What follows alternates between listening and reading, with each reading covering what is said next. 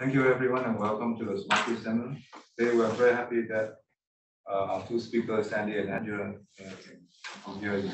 I want to uh, remind everyone that our next seminar is next uh, Thursday, uh, same time. We have a speaker from NREL talking about uh, power system and tools. Let me quickly introduce our speakers. Andy is a principal planning and strategy analyst in Portland General Electric's distribution distributed resource planning team. He has over 10 years of experience in the energy industry, focusing on distributed resources across both planning and evaluation.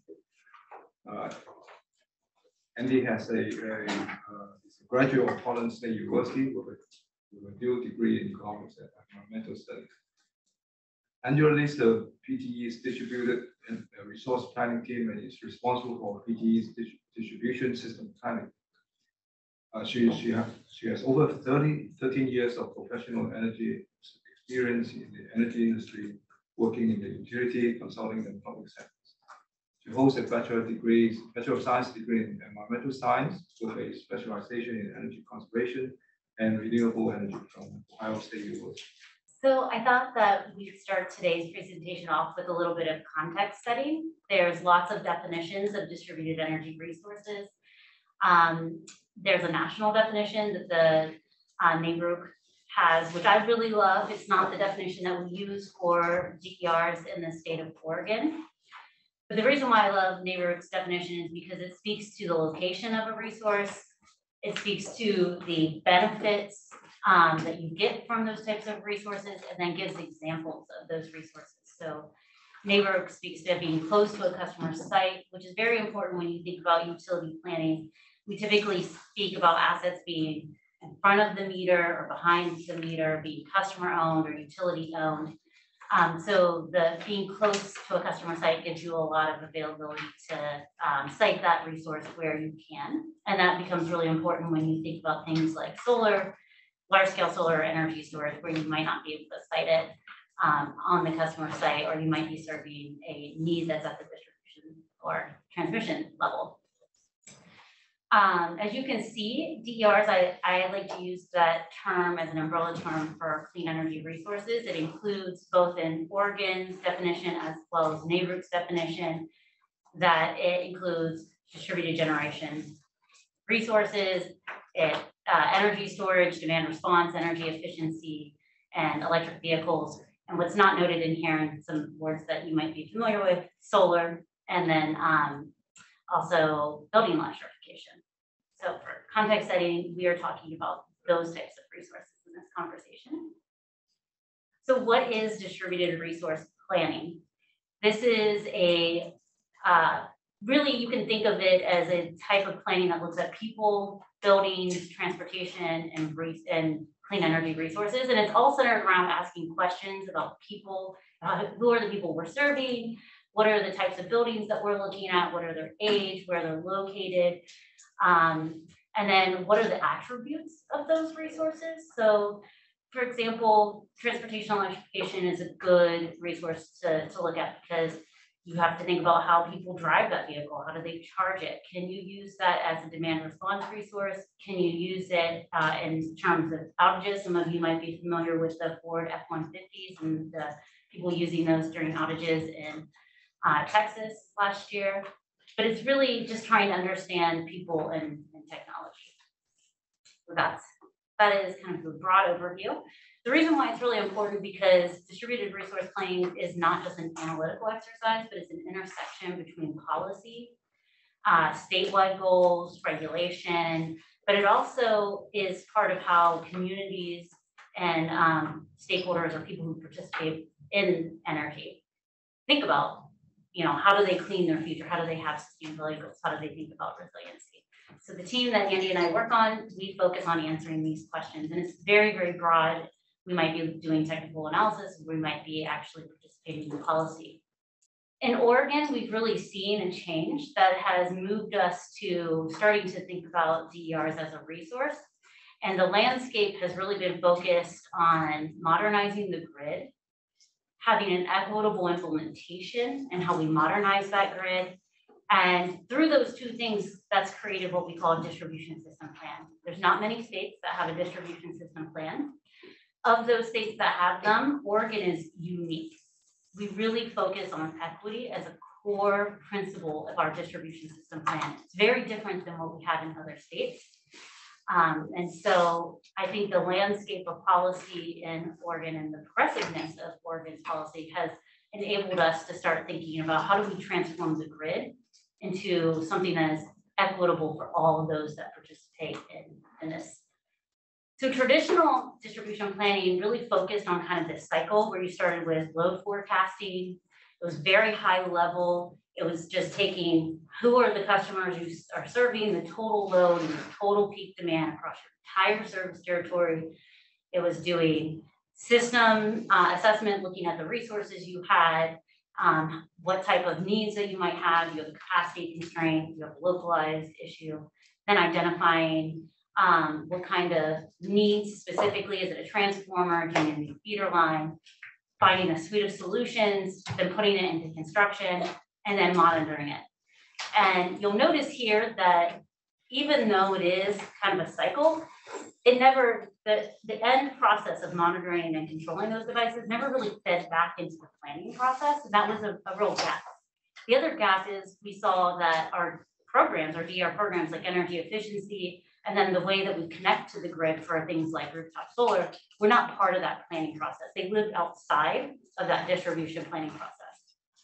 So our traditional delivery was really focused on this one-way flow of power. And you really see that when you start with your main delivery, a coal power plant, all the way down to homes, but wasn't interactive. And that, that's really critical um, and why this shift is needed when we start to think about distribution system planning. So here's what's different.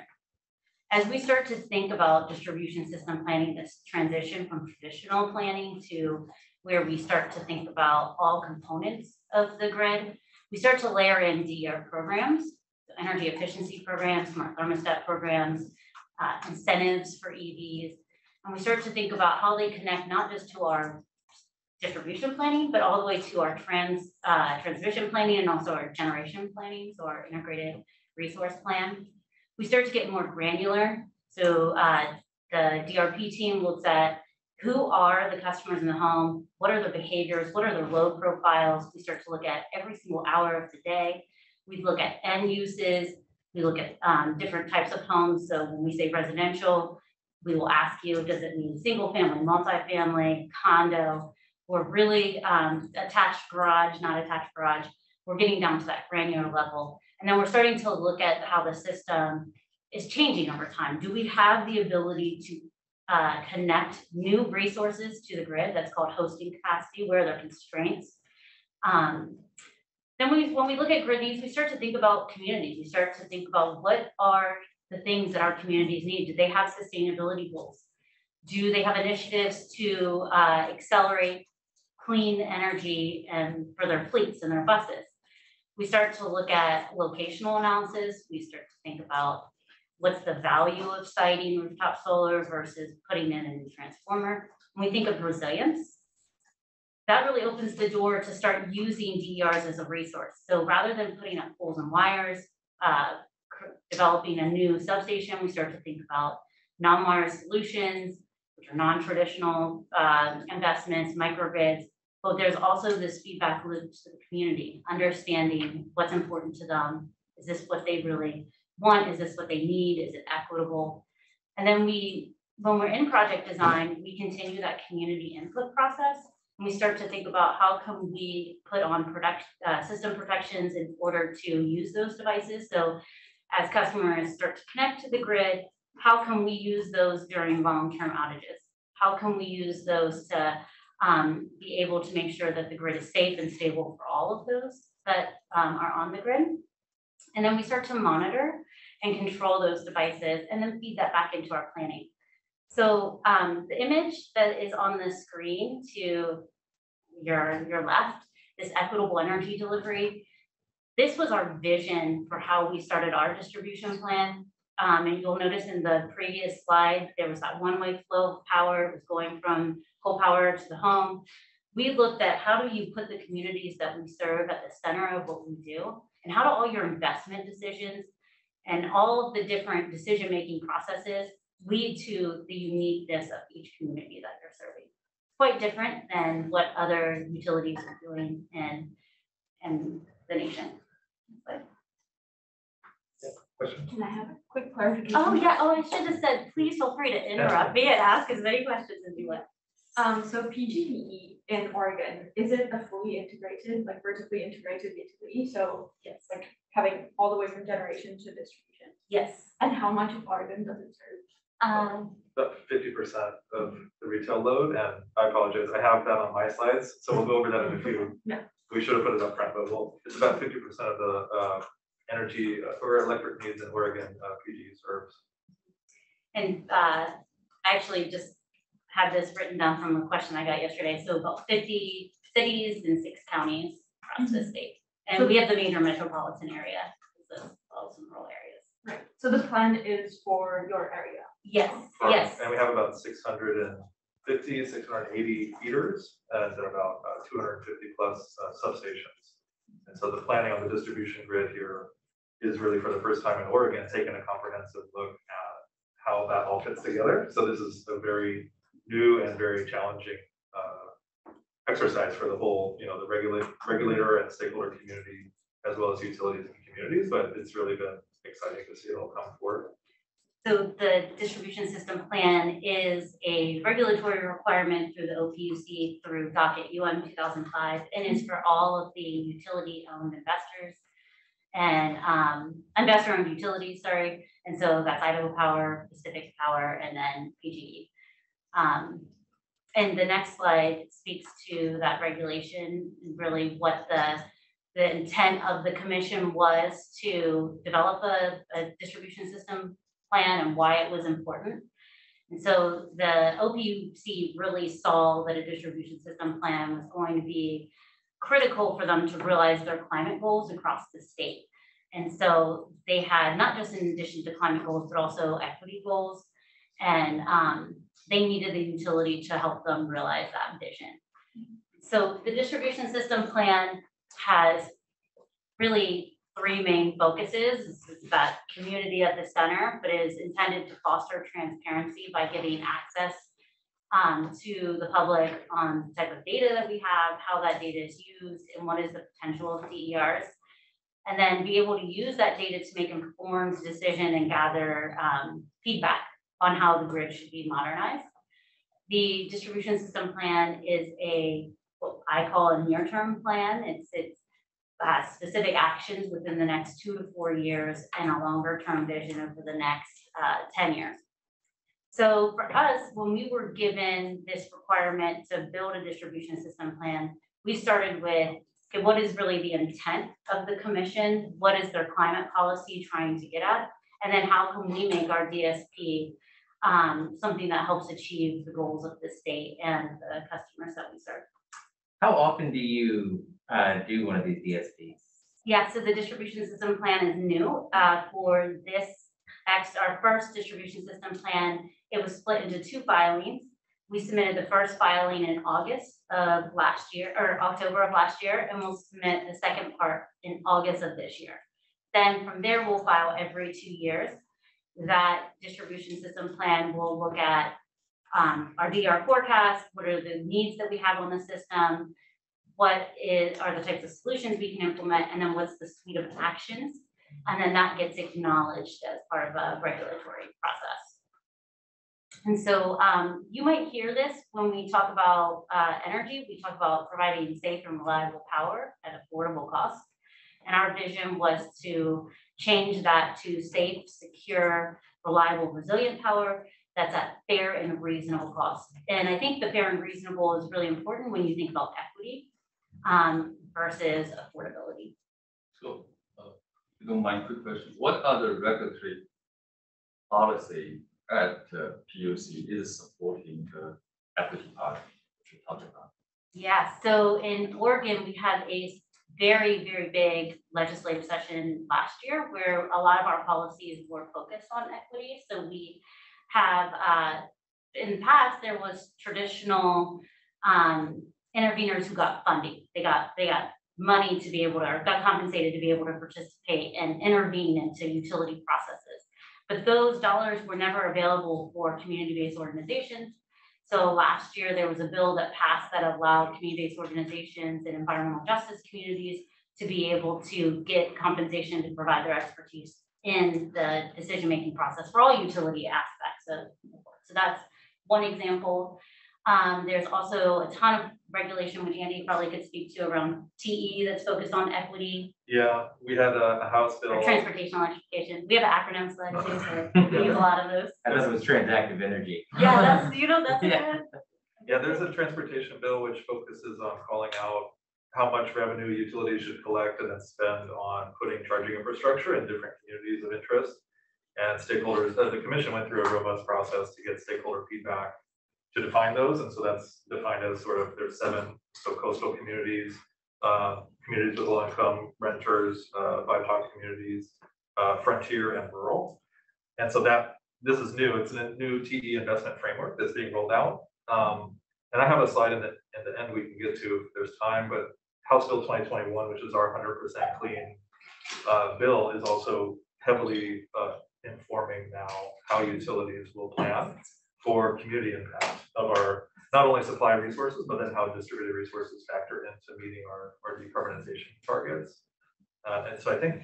Yeah, so there's, uh, my earlier slide that was the policy landscape that's changing, just have some notes on that, but really, um, it started with the governor's climate. So we started with legislation or, um, executive orders, which focused on, uh, the modernizing the grid and then also had equity components and has really transitioned into, through a series of regulation and legislation and policy into, uh, House Bill twenty twenty-one, which was um, enacted last year, and that has several components. It has a clean energy target, which you'll see on the screen, is to get us to hundred percent clean by twenty forty.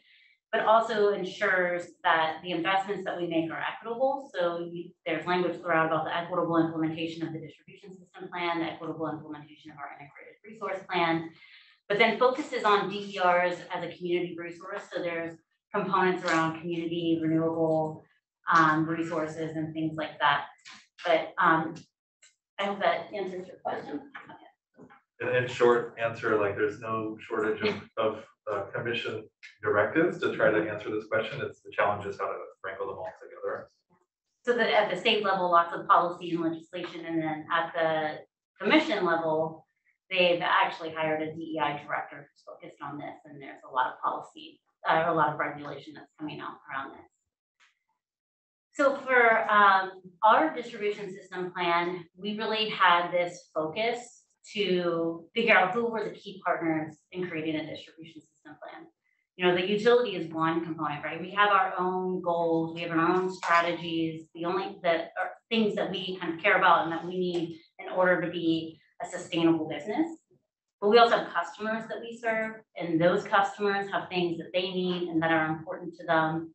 And then we have uh, interveners and stakeholders and partners who care about the, the customers that we serve and are, you know, advocates of different sectors, industrial or business sectors. Um, and then we have our commission. So there's a lot of people who participate in DSP. So we had to start with some very basic vision and goals. And our um, initial thought was just radical transparency. Let's just be honest with where we're at. What can we do now? What can we not do? What, what are we not good at? Where are we in our infancy and what are we really good at?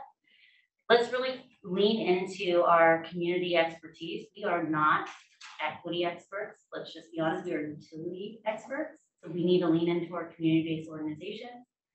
We need enhanced engagement. This can't be just us speaking to our partners and our regulators um, and our customers. We need to have uh, two-way flow of information and be able to take their feedback and implement it into our process. And it really has to be easy and understandable.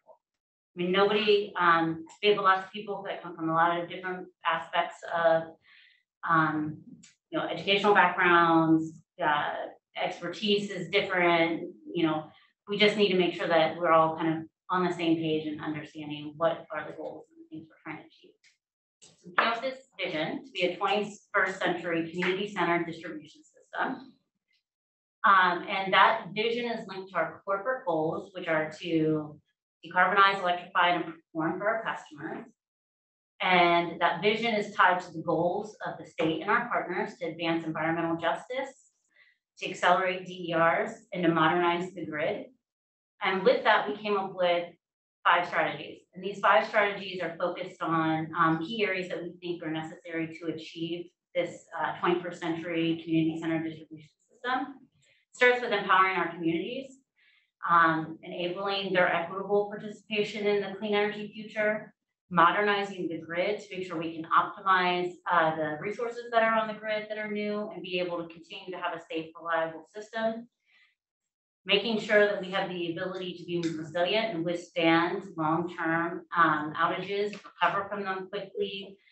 And then plug and play, which is access to the grid. How can you get, uh, you know, if you want to be able to buy an EV, how can you get a charger and be able to connect that to the grid? And then finally, there is an evolved regulatory framework. The model in which we operate is old and doesn't doesn't um, speak to this transition that we're going into. And we need to have a conversation about how regulation and policy is going to help us really be focused on this new transition. And so evolving the utility business model is critical. So those are the key components of our DSP. And then I have a, an in the weeds slide that speaks to some of the things that, that we're doing here. And I'm not gonna cover everything here, but if you see something that stands out, please feel free to, to ask me to go deeper. Um, so our empowered communities, quite frankly, we are in our infancy. And we're really taking the first step into this process. And the first thing we needed to do is build a framework on how do you do human-centered planning? And what does that mean? Um, and what type of uh, data, like what does it mean to incorporate DI into your into your work? And for us, that means socioeconomics and demographic data as being a key component to our planning processes. And then how do we engage with our communities? We worked with three community-based organizations to develop best practices and develop some data analytics for us and put together a framework on how you would engage communities. Um, so we leaned into their expertise and um, showcased their work in our DSP with their own words. We didn't rewrite any of their, their recommendations. We published it as, as um, they wrote it. And then we were very transparent with where we are in our, uh, the DEI maturity model. So where we're really strong is modernizing the grid. We, you know, we're utility, we're great at building things and keeping the uh, lights on for our customers. But there's a shift in how our goals need to, to be. So we need to really focus on decarbonization. We need to focus on assisting our environmental justice communities. We need to think about resiliency, security is, is big, you know, safely using people's data, making sure that um, that's secured. And so, um, and then reliability has to be there. That has to be at the core of what we're doing. So we started with the US DOE's distribution system planning framework. And then um, we um, looked at our current process. How are we spending our dollars today and where are we making investments? So we spent about $3 million into the distribution system, but only about three, or sorry, 300 million on the distribution system, but only about $3 million is invested in grid modernization. So that's gonna be a big shift when we look at our actions that we need to take. All this is part of general case. Yes, so today, yes, today is all part of a, a general rate case. Yeah, that, that's our capital expenditure, and so, um, I'm more talking about the three million for the green bond, it's part of general rate case. yeah, I think Yes, and that's it's capital. historical. capital. It's over, that's an average, I believe, over the last five years, right? Yeah, And so that's what Angela's indicating is that as we now pivot and modernize the distribution grid to handle these excess DERs, uh, that's gonna shift our investment strategy. and I think, you know, typically our investment strategy has been capital investments, utility-owned investments, but as we start to think about modernizing the grid using customer resources, DERs, those typically are not part of a capital process, so they will require a change in how we make investments, and, and that's part of also evolving the utility business model, because those aren't, aren't typically used. Go ahead. So as you're looking at the different problems and your goals for modernizing the grid and increasing resiliency, and you're evaluating potential solutions, how do you evaluate technology and then how do you work with tech companies to, to make sure that, that you're able to achieve your goals? Yeah, yeah, that's a great question, and we are in the process of trying to answer that ourselves. Um, but we do, you know, I would say we have worked with, quite honestly, we've worked with a lot of tech companies on a variety of things. We do work with um, a variety of engineering firms, and I'll just give one example. Typically, we've worked with third parties to do our uh, forecasting for all of our DERs.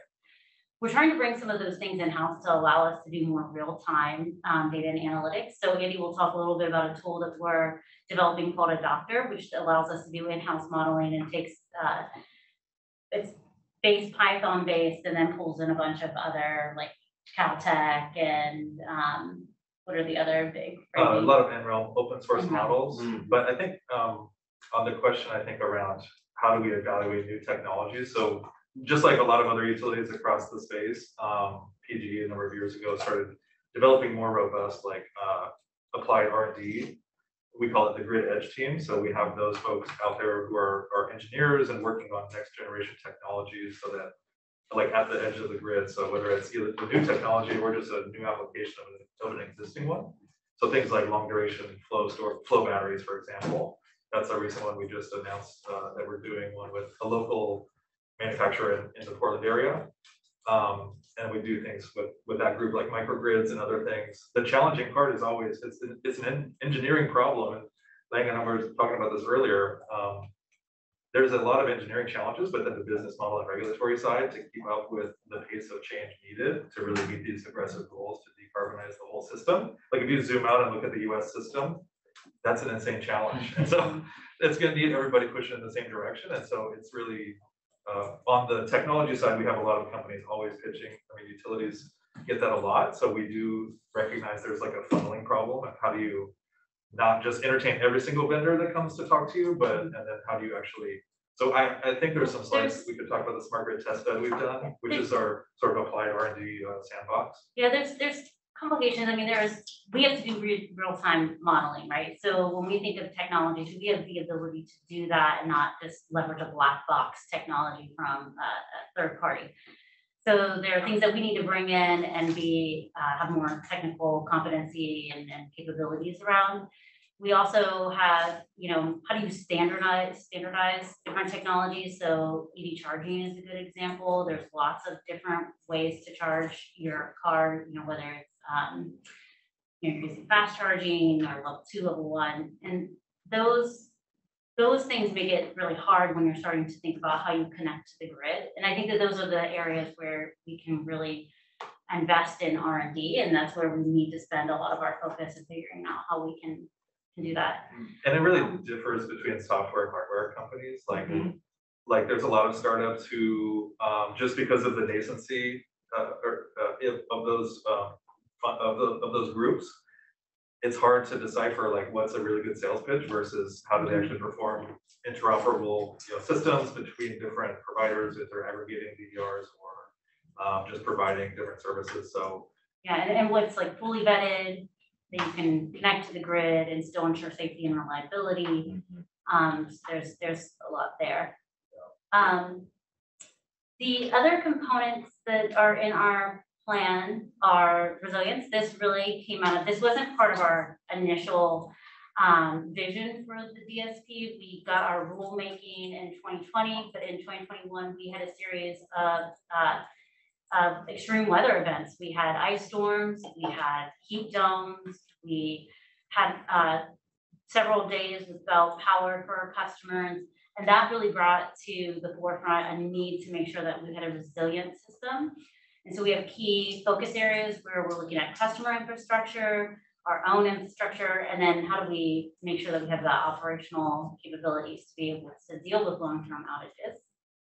Our plug and play initiative is, um, I would say, still very focused on kind of the early stages or maturity there is, um, you know, in its infancy, we focused a lot about bringing transparency to how you can connect to the grids. We have uh, GIS mapping that we did show where there are substations that you can connect to without substantial interconnection cost.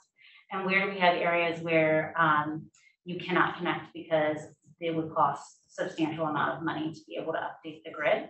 So um, we have those two mapping, and then I would say for our filing that is in August, we hope to have some actual projects that we can propose that would help customers connect to the grid in new ways, whether it's um, solar inverter programs or EV programs. We want to focus some time there. And then you can see in our evolved regulatory framework, there is quite a bit of policy that we need to coordinate with as we start to think about the distribution system and quite a bit of regulatory um, activities that we need to think about. But some key ones, and I, the one I like to point out the most is in um, Oregon, we use an IEEE standard fifteen forty-seven that is pretty outdated. It's not the most recent version of that standard. It is implemented into code and it, what it basically does is it um, doesn't allow us to utilize a customer solar system. It doesn't require a customer to put a smart inverter on their solar system. And this presents a lot of challenges. So um, if the customer doesn't have uh, an inverter, it's not safe. We can't, if we have an outage event, we have to shut off their system. We have to protect the system for all customers so it doesn't feed back onto the grid. Um, we're really pushing the state to change that policy so that way it requires customers to install a smart inverter. So that way they can safely use their equipment during outage. But then also if we have a time where we have not enough uh, energy or capacity to be able to serve the system and we might have to shut down equipment that we might be able to actually call on that equipment and use it, just like we would if we had a power plant. So that's a, a, a key example of some regulatory activity that we think could change and really help us, you know, modernize the distribution system. Next slide. Okay, so there's two more slides that I have, and I wanted to dig a little bit deeper into two things. One is our empowered community, and I think this is what makes our DSP very unique, which is leading with the DI lens. So there's a couple of components to that. Human-centered planning focuses on procedural justice, making sure that our customers and our partners have a seat at the table, and that they're not just at the table, but that they have, a, they're able to be part of that decision-making process. That's really important. Um, making sure that we we have distributed justice is a key component of our planning. So that's um, making sure that we have equal benefits and costs that represent society. So today, when we look at cost effectiveness, we typically look at utility costs and benefits. We need to start integrating things like societal costs, greenhouse gas, air quality, and also customer benefits. You know, what's the benefit of reducing energy and making sure that they're part of the cost effectiveness equation. And then restorative justice. We've had, you know, there are quite a few things that we, that in the past, I think we could acknowledge that we did not look at all of our customers and serve them equitably, and there that did cause harm to our um, some of our customers, and we need to make sure that we restore that for them and restore that trust. For our community engagement, and I would say also for human centered planning, I haven't mentioned this and it's not one of the bubbles, but really should be is also data and analytics. So integrating things like um, US Census data. There's some tools out there through companies called GreenLink that bring in uh, socioeconomic and demographic data, integrating that into how we do our planning. So for example, if we are going to be making an investment area, an investment in an area, really understand what type of customers we serve, um, what are their backgrounds, is English a second language, what's their income level, and making sure that we are equitably investing across our service territory. And then um, DEI, we've really focused on the core component is leaning into those community experts, as I mentioned earlier. Sorry, I was answering a question on the chat. Yeah, no worries. Okay, this is also in the weeds slide, but one thing I wanted to leave you with, because this feeds into Andy's slides, is as we modernize the grid, there's a framework which we, we need to consider. And the framework now is not just pieces of physical equipment, but actually looks at customers and planning and um, starts to bring in things like a virtual power plant. And looks at foundational capabilities, but also layers that into some more advanced analytics So today, this is a, a suite of projects where we're at with four capabilities. And so Andy is gonna touch on some of these, but I'd like to highlight, um, you know, our virtual power plant that is going to be able to allow us to combine different DRs and be able to use those to, just like we would use as a power plant, which is kind of cool. Uh, our AdopDER tool, which is our in-house modeling, which allows us to real time be able to see what are the impacts of DERs on our system and how do things like policy, incentives, cost, um, change adoption over time. And then, um, we have our ADMS system, which will allow us to have a platform. What's our, uh, VP has us, you mentioned this earlier when we were talking, has a name for our, our ADMS, our little tag phrase. Or the IOC and ADMS combined being the nerve center. Yeah, the the- nerve The center. future of the grid. Yeah, our integrated operations center is our new center, which allows us to operate all of our assets and customer sided assets as well. So What that's, does ADMS stand for? It's Advanced Distribution Management System. Okay, thank So it provides more real-time sensing and control of voltage, current, and other kind of dynamics, like in the, in the distributed part of the grid. Back to that earlier point where Angela said, you know, historical planning was all done with like maybe annual energy flows or like at, at best, like one peak time measurement. So now we're uh, in this situation where because we have more two-way power flow, we need a lot better visibility of just what's happening in it, not just for safety, like if line workers are out there, there's um, distributed generation back feeding onto the grid and they're working on the wires, that's a- obviously a health and safety risk, but more for control and balancing out the loads is, is kind of what I'll get into. And so, um, and I do have. the I- the have- ADMS is the main platform and then the DR management system, Yeah. DR, man- they are all modules on, on that. that Yeah, allows okay, control thank you. technology. I have a couple more slides on that, so we can dwell on that. So thanks, Angela. Um, and so I'm Andy Eiden, I'm a principal planning analyst on Angela's team on the distributed resource planning team. So I think before I jump in, I mean, first of all, thank you, Angela, for, for being the one to go long versus making me always be the one rambling. But not, not that you were, rambling. I mean, my slides, I have a lot of slides I'm trying to say. We present a lot and I it's will- always, yeah. I will go fast through these, but I'll skip some towards the end just to save time and we can kind of dwell on that after if there's time. But I wanted to say um, a few things I'll just highlight from what Angela said. It's really kind of critical for how Oregon is different. Or at least like what we see as a really unique uh, position is this community focus and customer first like attitude towards uh, grid modernization and the development of these DER programs and how they get into the field. Um, so I think there's some local uh, initiatives that really are uh, to the forefront, like Portland has a clean energy fund, which is focused on a just and equitable transition. So even though we mentioned the utility being in their infancy in how we deal with issues of racial equity within a planning process, our recognition is that our communities are not that way. It's like they're out there on the front lines trying to strive for, you know, justice in terms of how climate change and other um, aspects of this whole thing go forward. And I think you'll get a sense for the slides, like how much activity is happening. I think Angela set the stage for really what's the policy landscape, what's the planning, like high level. Even though we got into the weeds there, there's a lot on the customer side that PG is really pushing on because we just recognize our customers are demanding it. They demand more clean energy, they want it reliable and safe, they want it, uh, they expect that of their utility. And so I think it's my experience, I, I used to work at- in sort of energy efficiency and coming to PGE. It has been, um, very interesting to see that, that they're taking it that seriously.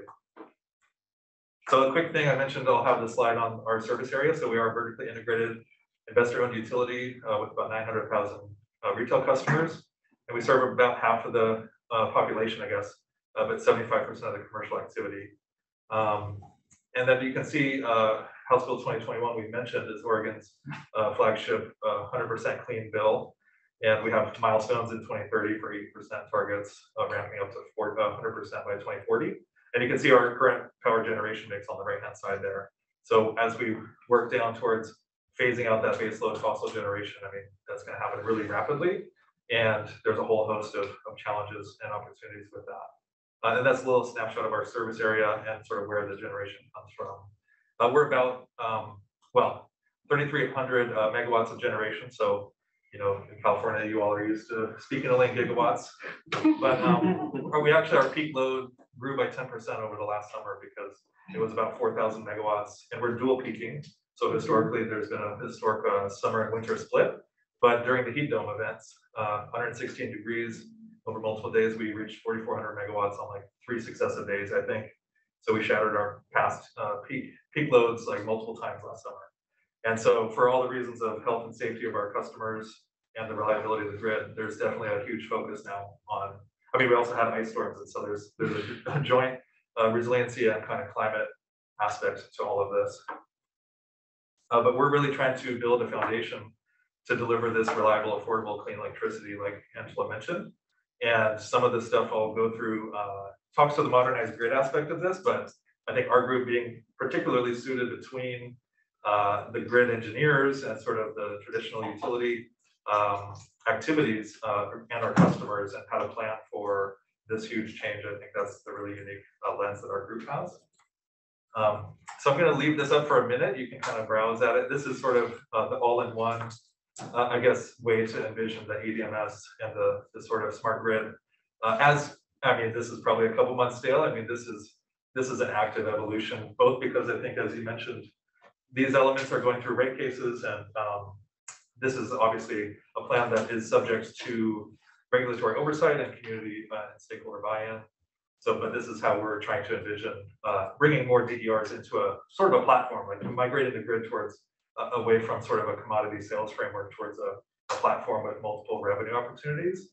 And in the middle there is sort of the grid management system where we're rolling out uh, EMS and expanded ADMS capabilities. So those, uh, some of the grid mod things, which I think I have in the backup slides, but some really important ones, I think, uh, are like FLISR, like fault location and isolation, service restoration, and distribution automation uh, activities generally. That's kind of on the the grid engineer side. So if any electrical engineers in the room, I mean, we have a ton of stuff in that arena.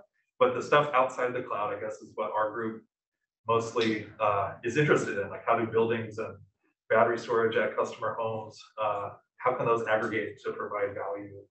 Um, do you have a question? Well, yeah, I was gonna let you finish. Oh, No, go for it. Uh, so the ADMS system, um, what are the, the timescales that it's looking to make decisions? Uh, Is it at like the fifteen minute AMI interval reading or you So we have, we have um AMI meters at about ninety-nine point nine percent of our customers with uh either fifteen or sixteen minute reads right now. So the ADMS will actually provide more like, I don't know if it's every four seconds or every, so right now, you know, the trip, the balancing authority, so PGE is a- is our own balancing authority. We have to, on the interties down in California, we have to maintain frequency and other uh load commitments uh every four seconds. And so those resources shift in a big way. So if two hundred megawatts of our wind might cut out in fifty, I mean, that doesn't happen in four seconds. But the frequency reads come in every four seconds and um the IOC, which uh, I guess it's not on here, but Angela mentioned it. Is it? It's like under the terms, it's actually I'm like reading out. the graphic with you You all. you don't know Um, how to read the words anymore, we're used so, acronyms, so. Yeah, the IOC uh will be sort of integrating the distribution and transmission operations Mhm. into one coherent area, but I don't know the exact time step of the ADMS. I do know it's it's more on the second scale versus um and sometimes instantaneous for especially the the FLISR. Uh, where those, I mean, it depends on the function, but Mhm. I would say that we're definitely going more towards real-time control, uh, and visibility. Um, We're still building it out and we hope to have it completed Basically, within the the next couple AMI months. is a fifty minutes meter, but the SCADA, you see on the bottom left, Mhm. that's every four seconds, Mhm. SCADA actual. Mhm. But that's not something that PGE would build out. Y'all would buy that from a third party. we implement, but we, so we invest capital to do that, and then we have a Yes. rate case where that gets adjudicated and. But we, yes, we're not building that ourselves, we are Mhm. contracting with a, with the software firm to build that. Mhm. Um, and Our, we, our own tool. So we're, so bu- build- it's our, we're having a third party build it for us, but we will own it and operate it. So the AMI is part of ADMS, what's a separate module? it'll be rolled in, it, it will feed in, uh, probably through the EMS. Um, so the AMI data will, will, uh, be aggregated through probably the, the data lake. And it's available through, you know, we have a team of data scientists at PGE that, you know, work on developing new ways to uh, aggregate the AMI data and make it visible for grid operators. Mhm. You know, that's still, that's being built right now, and we have some internal tests, and we're sort of, uh, the ADMS is kind of the foundational investment though, Mhm. because you need the actual measurements to come back from the field before you actually implement a whole bunch of advanced analytics. to- Yeah. I mean, I mean, you can get a lot with fifteen minute AMI data. If you in- can get. In terms of like past Yeah. patterns and informing your planning, but Yeah, And we need to update our AMI meters. They're about eight, ten years old, so we're in the process of updating this to the newest. Yeah, like, and, and the whole conversation around this is how much data do you wanna store uh, in your system, like, and for how long? Mhm. So like, we can't collect voltage data and frequency right now from the meter, but it's not that great. Yeah. In terms of using it for, um, power quality, uh, real-time management. Mhm. So that's, that's a question that people are asking is. you know. But I do have a lot of slides, and I know this is like, you all, probably I wouldn't advance past this slide if you, because I know that's this course, we can stay on it if you want. Um, or come back to it. Uh, does that answer your question though? Yes. And I am not the ADMS expert, so that's also why I wanna move past it. Um, but, but some of the interesting things, um, I'd say, we'll get into more, I'm, I'm mostly in charge here at, uh, DER forecasting. And so you can see some of how we lay that out and, uh, communicating back to this, uh, central system to coordinate those resources, but that's all obviously in flight as still markets and regulatory contexts keep changing. So I think there's a mix of like law and business, um, students in the course is what I was told, so I, definitely all of this is, um, very live across the industry and the West Coast in particular as um, as decisions and and different players are entering the market and it's disrupting, uh, you know, the status quo in a big way. So it's definitely no shortage of um, interesting work in this field. Uh, that's something that you quickly learn as you as you participate. Um, on the program, so I'm I'm gonna talk mostly about the program side. How do we forecast uh, for for things like transportation electrification? But this slide is here showing flexible loads. So if you go, uh, if you think about uh, balancing new, new demands on the grid, uh, using these customer resources is one way to accomplish that with lower cost.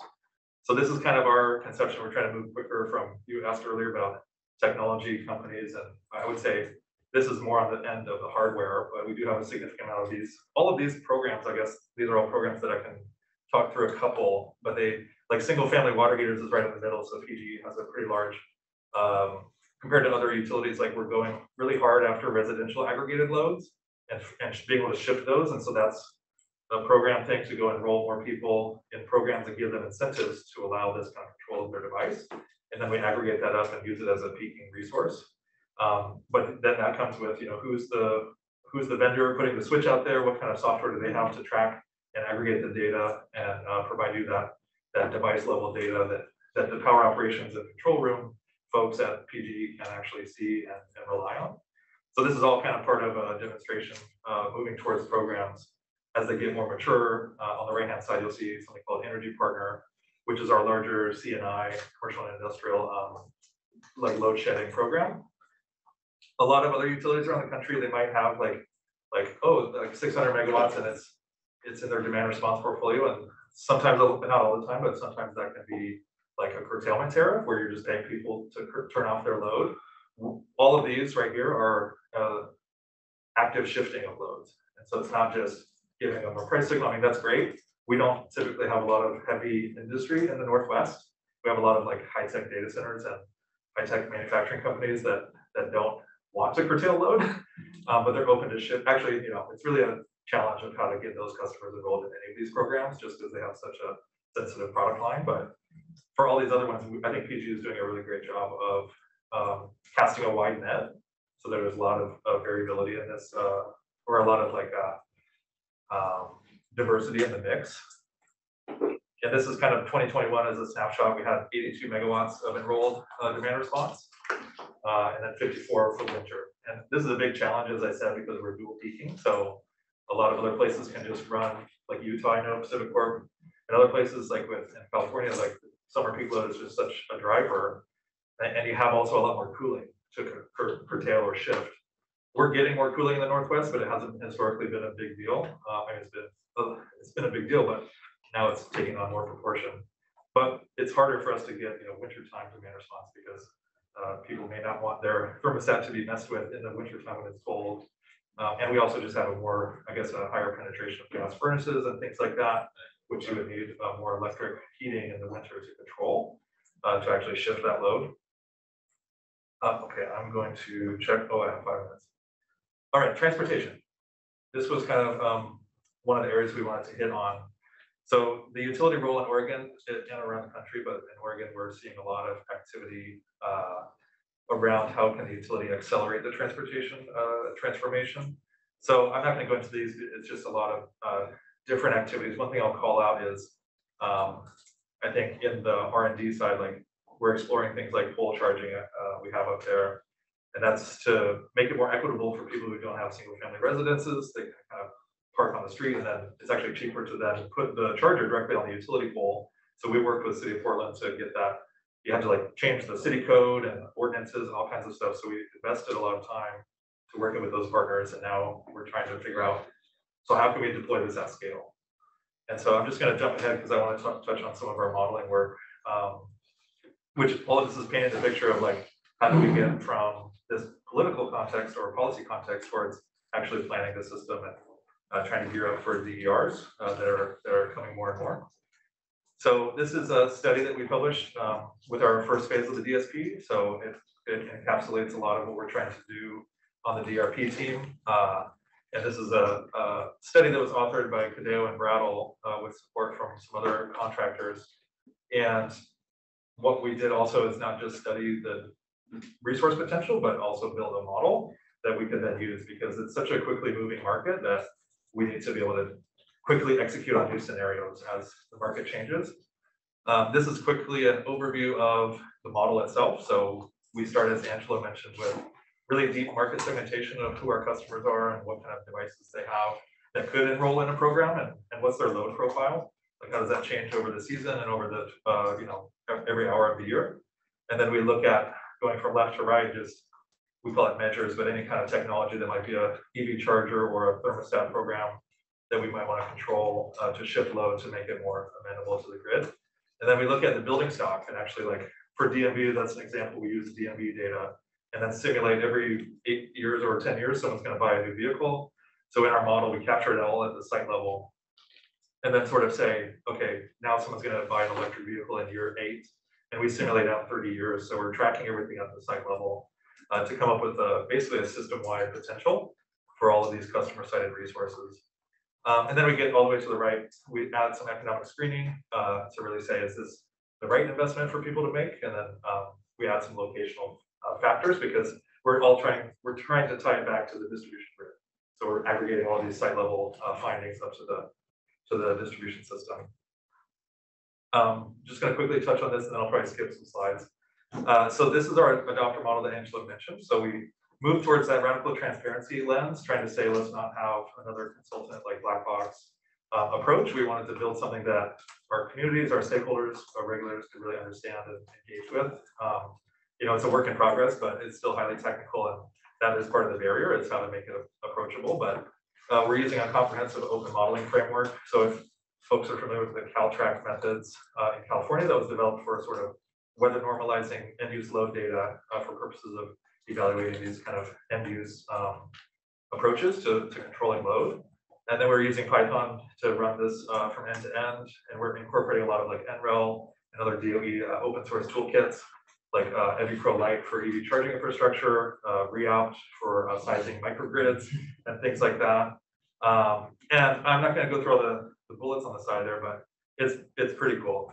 Um, so here's all the, the DERs we're modeling, and we're- these are growing, actually. This was our last study. I think we just added a bunch of emerging tech, like end user electrolyzers for industrial direct use application for hydrogen, uh, and things like that, which we're still working through, but you can kind of see the big ones here. I mean, solar and storage and electric vehicles are typically what grid planners care about the most. Like demand response is interesting for programs people, and it's important as that resource grows, but historically it's been rather small, but storage or solar and electric vehicles are the big ones. I mean, you, you all in California are, are light years ahead for solar than we are, but we do see the curve coming. Um, and so I'd say on the right-hand side, it shifts more into our demand response flexible load portfolio. Uh, so you can see all the different smart water heating and HVAC that we're modeling, uh, as well as some pricing programs there on the right with uh, peak time rebates and time of use, just paying customers to like, here's a behavioral signal, you can see it, it's a peak time of day, and you need to reduce your energy use. So you all in California, I think, have the, uh, the flex market, which is pretty new, but, um, we're doing this in the context of a utility vertically integrated, trying to sort of, um, operate and, and control these programs. Um, I'm gonna skip over a couple of these. I mean, we do some, some cool statistical models and other things, but I wanna, wanna give time to show, well, let me actually linger here for a minute. This is our transportation, just to touch on this, so in the model, we develop basically a list of variables in that long table, and then We're using some uh, uh, structured approaches to study uh, which have the best explanatory power. And then we only keep in the ones that are, you know, relevant and interpretable. Uh, But on the right-hand side, you kind of see how we're putting these into, into buckets, recognizing that because we're doing everything at a site level, we need to know like, well, how is income and uh, location and uh, like you can see up there, there's number of vehicles that the existing customer has an a big impact on whether or not they'll adopt EV, um, household income and other things like that, how far they drive. So these uh, factor in then and we sort of uh, get towards a locational uh, propensity to adopt.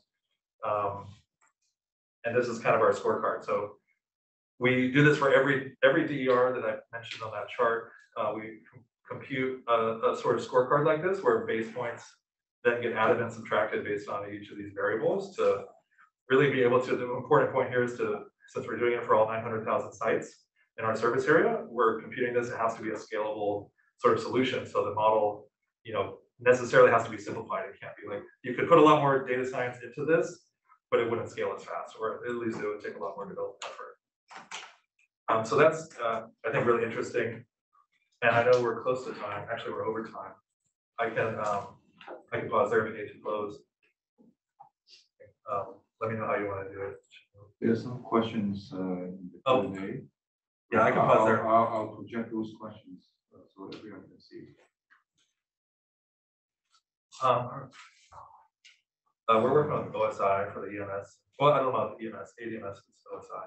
Hope Oh, that's not confidential, don't tell anybody. Mhm. Hands off. Can I share one? Oh, yeah. And the rest of the slides, I'm trying- they were super cool, we want to see this later.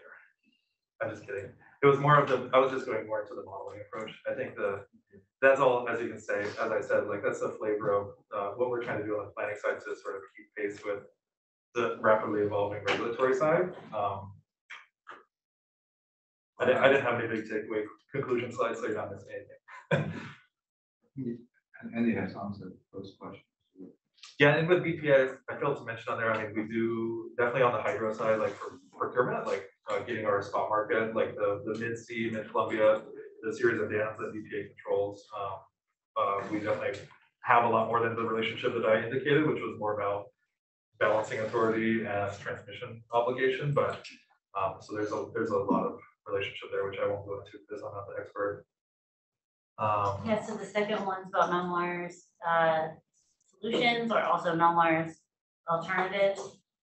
And, uh, the OPUC as part of the distribution system plan requires that we propose at least two non, uh, solution projects. And they're not required to be cost effective and that will be filed in our August filing. And I, there is probably gonna be, I should have mentioned this earlier, we're in um initial rulemaking, so the commission will use our two filings to finalize the rulemaking probably in twenty twenty-three. And everything we submit will inform the the outcome of our final rulemaking, but I would suspect, Andy, that non-wires solutions will be a requirement of our final um rulemaking. But we'll propose at least two projects in this round, and Andy's working on the modeling for that. Do you wanna speak? Yeah, so we, so when we do, if we focus on two substations, for example, the model that I was showing, um, you know, we'll be able to then isolate for that geography, how many multifamily buildings there are, and that typically has a different, you know, preponderance of electric versus gas, like heating. Or if there's a lot of low-income building stock, that could benefit more from energy efficiency. Uh, and, or there's just like, we know how many water heaters there are that we could enroll in the demand response program, or and one thing we're doing, which is we're using NREL's uh, PVWatts module to uh, identify solar potential as well as their DGen model, which um, is a bottom-up forecasting model for solar and storage. And so we will run this model for those two locational non-wire pilots and then work with our communities, again, to what Angela was saying, to make it community-centered and driven, to say, okay, here's the resource potential and how do we actually go get it? And there's, there's conversations about, you know, how do we actually invest in those communities to do the work themselves, like installation of, of weatherization measures or solar and, and things like that. So it's, yeah, it's gonna be a lot, it's gonna be like a pretty crazy, uh, five months. Are- To answer the second part of that question, just quickly, the way that we're integrating equity into our decision-making process is we have a portfolio of capital projects that we'll review. We prioritize those based on their ability to, um, you know, the priority of, of, like, how much risk there is, to continue to provide safe, reliable power. We rank those. As part of that prioritization process, what we'll also be doing is integrating socioeconomic and demographic data to identify areas that um, are traditionally underserved or vulnerable populations, and then be able to prioritize those projects as well as um, the projects that also have safety and reliability concerns. Last question, um, are, are you modeling at, uh, two substations because it's too difficult to scale out past that, or you're just, you're hyper localized? It's just, that was the requirement by the, the PUC was to do, because we have to do two proposals that are thoroughly like laid out with, with respect to cost benefits and equity consideration. So the model we have will be able to generate and look at any substation. But what we will do is we'll have ability to run like parametric runs. Zoning in on those two with like very much uh, granular, maybe avoided costs. So the avoided cost of deferring a substation depends on where it is. If it's ten million dollars over here versus twenty million dollars over there, that gives you the pot of money you can actually defer. And then that can go into a local program. Or, you know, it could be a big battery, it could be a bunch of small batteries, it could be no batteries and just a bunch of weatherization and demand response or solar. It really depends on the context and what actually grid constraint you're trying to solve for. Like if it's a peak load at five P M, that can give you, and it's all residential customers, that gives you a, a box of what kind of programs on the customer side you could do. If it's more like an industrial growth where it's all flat, you need to reduce that load over a much longer period of time. So you maybe need different solutions. Do you want to answer the question? on- Yeah, the EV, um, we have about twenty-six thousand EVs on the road in Oregon, uh, or in PGE service area, I should say. Um, so I think, we're- don't know what percent of load it is now, but I think we're projecting it'll get up to about twenty percent of sales in, uh, by twenty forty-ish. Um, I don't, I mean, hundred percent, I wish. Uh, that will be a ways off. We're, we're sort of closely modeling after California's uh, twenty thirty-five uh, ICE ban. So like we do see like in 2032, 2035 timeframe, there's a big inflection point in our forecasts. Um, we, in Oregon, like we just adopted actually a um, a clean trucks rule that follows California's, and so definitely for medium and heavy duty, I mean, that is still very much emerging. We have a, I have some slides which we can show some of our partnerships with like Daimler Trucks North America. They have their headquarters in Portland. So we just launched like a, a flagship, um, public charging station for like long haul trucks. And so, but those are all still in demonstration mode, we should mostly, I mean, California, you all will probably get those on the roads a lot quicker. I mean, Oregon's catching up. Whoever's watching, don't, uh, don't get me wrong. Um, and we will, we certainly have a lot of, we have our, our transit provider who's, uh, got plans to electrify, or at least, you know, have zero emission buses by twenty forty for like seven hundred plus of their fleet, so we're working closely with them. Uh, school buses, we have a, a pilot program. I'd say, I'm sorry, I'm not like sticking to the question, but the, the, the- whether the lines can transmit the additional power is something that, right now, we're focusing on the DER and transportation forecast. The process over the next probably six months till we file the part two of the distribution system plan will be that other end of the, of the stick. Like, do we have the additional capacity? How much investment will that take? Um, we're looking at distribution system, obviously, and so I think for transmission, um, that's something that the IRP would contemplate, um, because they look at the bulk power flows and things like that. But we do include the EV forecast in the IRP, so. Um, I think for, for now, we're looking good, but that could, especially as, as the heavier duty, heavy duty vehicles, if they start adopting more like megawatt scale charging. At scale, like to just do, if that's like an important business case for them to actually convert their whole fleet. Is they need to have rapid megawatt scale charging, then that's, I mean, those are all game changers. So like this is, that's why we built this tool to be very flexible and nimble, because six months after you do it, it's out of date. Um, because the market is just so rapidly evolving. So, uh, today, the model that Andy's building at forecast out what we think is the, the trend and what's the most realistic adoption in the near term, which was built on assumptions from twenty twenty. He will be updating the model this year to be able to predict like hundred percent load, like the question that, that was posed here. How does policy influence those state, the state of Oregon has a policy um, or an initiative to go to hundred thousand vehicles by twenty Like a- twenty. Like a- over a million vehicles by twenty thirty, and I think that's fifty percent of vehicles on the road by twenty thirty is our the legislative target, and fifty, uh, twenty-five percent of new sales, new car sales by twenty thirty. Um, and then, obviously, I mean, politically, right, there's policy that adopts similar to California, like any kind of other bans on ICE vehicles, that would change things in the out years. Um, so this is all definitely, sorry, that's the best I think we can do on that, on that one. Uh, business model reforms, do you wanna talk about that in the, in the DSP, how we teed that up? Yeah, yeah, um, so today the, we've been open to, you know, we've, we've told the commission that we need to have a conversation around utility business model reform. We haven't actually come out and said that there is any one specific model that, that works well. We've provided context on, um, to the commission on different types of models, so it could be uh, performance incentive, it could be performance, um, like a rate-based incentive. So we're looking to probably propose something in our second part, so kind of like the question that was previous asked, that Andy commented on, we'll be predicting impacts of EVs in our part two, we'll also be probably making some recommendations on utility business model reform in our part.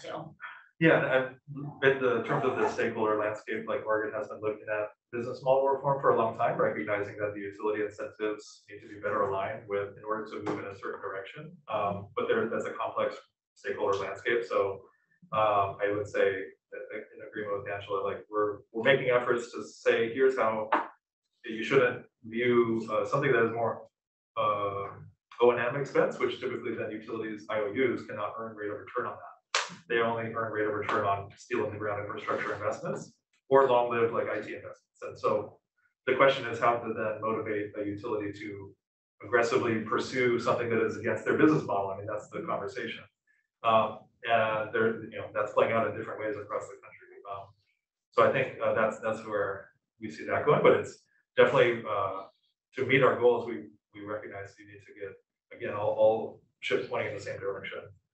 Yeah, and I would say that uh our particular focus in terms of business model reform is really um as we start to shift in how we invest in resources, how do we recover and earn on those to stay whole as a company, right? We we need to be able to still pay our bills and our and our employees, and so how do you, how do you do that? And um still transition into that, and I think that this is a good question for a Stanford student to answer. So I'll pose it back Oh, to yeah, yeah. you. Uh, then you the- mean number six or? Number six is, Yeah. I find it interesting that they knew with the West Clean. Yeah, I West have Coast a- Clean Transit. I have a slide on that, it just was forty slides down from where I got to, so sorry for lack of planning on my part, but, um. The West Coast Clean Transit was kind of a high level, so basically looking at, uh, electrifying I five all the way from Mexico to Canada, and it was a nine utility partnership, PGE funded that as well as well as a number of California and Washington utilities. It's really, um, meant to say like, for corridor traffic up and down, what is the infrastructure need? Um, what is the next research questions from that study, which was led by HDR Group, uh, is really how does intersection of local delivery routes and like shared use of a public charging infrastructure hub like that really come to impact, like how, like, we don't know yet how people will prefer depot charging, like overnight charging versus public fast charging for, for trucks and delivery. Uh, so that's, that's very much like the next cutting edge question. So that's, so it's, it's impacting our planning to the extent that, um, I mean, we, we promoted the study and we funded it. Uh, but its, But its ultimate use was to get more alignment across, uh, parties on the west coast. And I think for how it hits our distribution system plan, like, until someone goes and says, we need a super fast charging hub like in your service area, that's when we'll start saying, okay, here's where we have extra um, ability to host something like that. So I was not at PGE when that story, that study was um done. I was actually leading it for PacifiCorp. And basically, the outcome of that study showed that for heavy duty vehicles, you're going to have more charging outside of a major metropolitan area. And you'll have more um medium duty vehicles like delivery trucks within a city. And then also looked at their charging behaviors and the radius in which that they would drive and be charged. So I think all of that is encompassed in Andy's model or will be at some point. And really just understanding what are the driving behaviors and the load needed to meet that, those types of vehicles. So just to give you some scale, for heavy duty vehicles, you would need the equivalent of a twenty-five megawatt substation to meet that load for charging at any given station. I mean, it's substantial.